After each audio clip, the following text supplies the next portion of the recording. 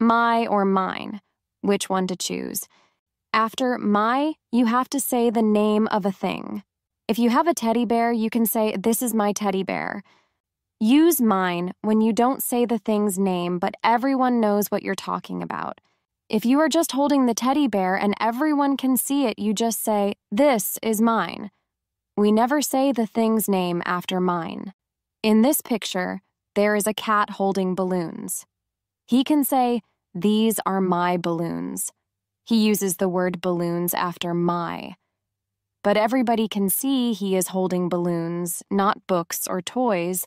That's why he can just say, These are mine. In this case, there is no word balloon after mine. And now, one more example. Here, this cat is eating cookies. He can say, These are my cookies. My. And after it, the thing he has, cookies.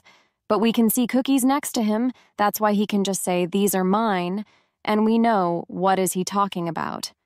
Subscribe so you don't miss the next quiz.